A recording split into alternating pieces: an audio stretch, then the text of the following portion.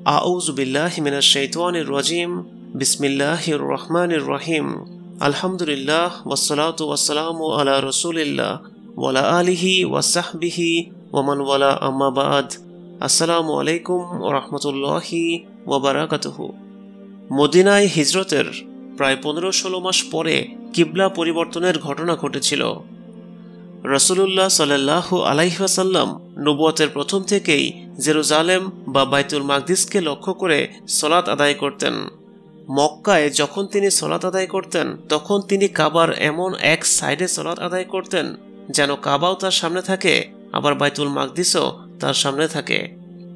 কাবা এবং বাইতুল মাকদিসের অবস্থান এমন ছিল যেন তারা একশো আশি ডিগ্রি কোণে একই সরলরেখায় ছিল। কাজেই রাসুল সাল্লাহ আলাইসাল্লাম যখন সলাৎ আদায় করতেন, তখন একই সাথে বাইতুল মাকদিস এবং কাবা তার সামনেই থাকত। রাসুল সাল্লাহ আলাইসাল্লাম যখন মদিনায় হিজরত করলেন, তখন বাইতুল মাকদিসের দিকে ফিরে তাকে সলাৎ আদায় করতে হতো, কারণ তখনও মুসলিমদের কিবলা ছিল বাইতুল মাকদিস। তিনি যখন বাইতুল মাকদিসের দিকে সলাৎ আদায় করতেন, মক্কা থাকত তার ঠিক উল্টো দিকে। একবার জিব্রাইল আলাহিসাল্লামকে রাসুল সাল্লাহ আলাইসাল্লাম বলেছিলেন, হে জিব্রাইল আমি মক্কার দিকে ফিরে সলাৎ আদায় করতে চাই। এ কথা শুনে জিব্রাইল আলাহিসাল্লাম বলেছিলেন, ইন্নামা আনা আব্দুল মিসলুক, আমি তো আপনার মতোই একজন বান্দা। এ ব্যাপারে আমার কোনোই ক্ষমতা নেই। আমি তো শুধুমাত্র আল্লাহর আদেশ হলেই আপনার কাছে আসতে পারি। আপনি যদি মক্কার দিকে ফিরে সলাৎ আদায় করতেই চান, তাহলে আল্লাহর কাছে দোয়া করুন। রাসুল সাল্লাহ আলাইসাল্লাম আকাশের দিকে তাকিয়ে সর্বক্ষণ মরিয়া হয়ে দোয়া করতে থাকলেন।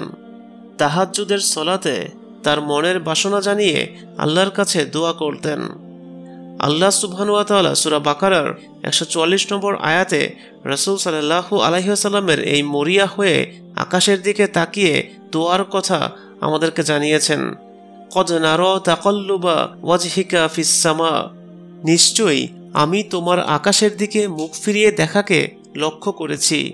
যে কিবলা তুমি পছন্দ করো, আমি তোমাকে সেদিকে ফিরে যেতে আদেশ করছি। তুমি মসজিদুল হারামের দিকে মুখ ফিরাও এবং তোমরা যেখানেই থাকো, সেদিকেই মুখ ফিরাও। মদিনায় হিজরতের প্রায় পনেরো ষোলো মাস পরে কিবলা পরিবর্তনের এই আয়াত নাজিল হয়েছিল।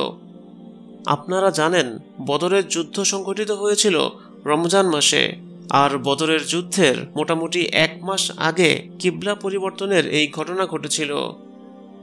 কিবলা পরিবর্তনের এই ঘটনাটিতে মুসলিম, মুশরিক এবং ইহুদিদের অনেকেই দ্বিধান্বিত হয়ে পড়লেন। ইহুদিদের একজন বলেছিল, এ কেমন নবী তোমাদের? সে একদিন উত্তর দিকে ফিরে সলাৎ আদায় করে, আরেকদিন দক্ষিণ দিকে ফিরে সলাৎ আদায় করে। আরেকজন ইহুদি বলেছিল, আমাদের কিবলা কি তোমাদের জন্য যথেষ্ট নয়?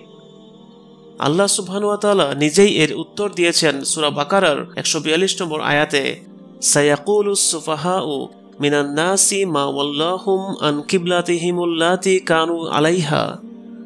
শীঘ্রই এ নির্বোধেরা বলবে, কিসে তোমাদেরকে ফিরিয়ে দিল?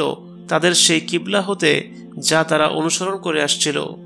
নির্বোধ লোকেরা প্রশ্ন করতে শুরু করবে, তারা এতদিন যে কিবলার দিকে ফিরে সলাৎ আদায় করছিল হঠাৎ করে কেন আবার অন্যদিকে কিবলা ঠিক করল। উল্লিল্লাহিল মাসরিকু ওয়াল মাগরিব, ইয়াহদি মাইয়াশাউ ইলা সিরাতিম মুস্তাকিম।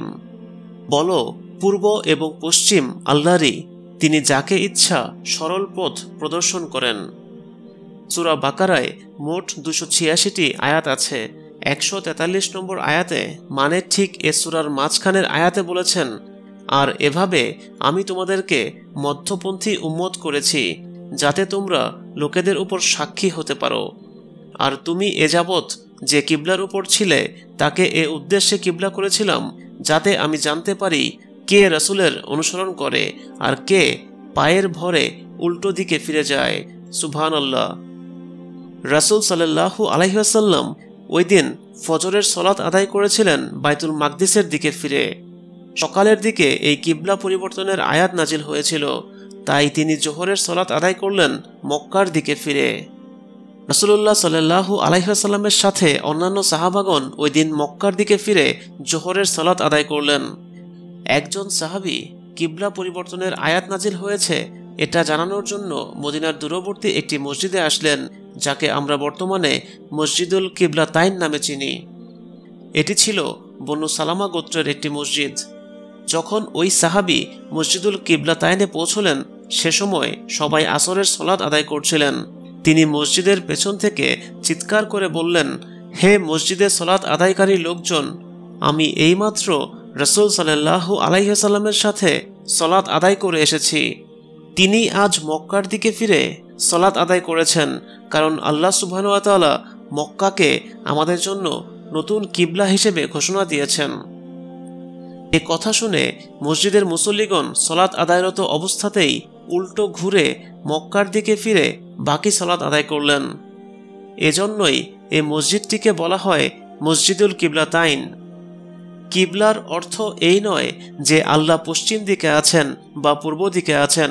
প্রকৃতপক্ষে পূর্ব এবং পশ্চিম সবই আল্লাহর মালিকানাধীন। আল্লাহর নির্দেশ ছাড়া কোনো স্থানেরই কোনো বিশেষ মর্যাদা নেই। আল্লাহর নির্দেশেই আমরা কোনো বিশেষ স্থানকে সম্মান করি। গুরুত্বপূর্ণ বিষয় হল আল্লাহর নির্দেশের অনুগত হওয়া। তারাই আল্লাহর সহজ ও সঠিক পথে পরিচালিত হবে, যারা আল্লাহর নির্দেশের আনুগত্য করবে।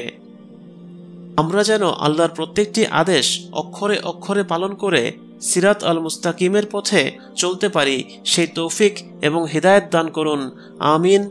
বারাকাল্লাহুলি ওয়ালাকুম ফিল কুরআনিল আজিম ونفعني وإياكم بما فيه من الآيات وذكر الحكيم. السلام عليكم ورحمة الله وبركاته.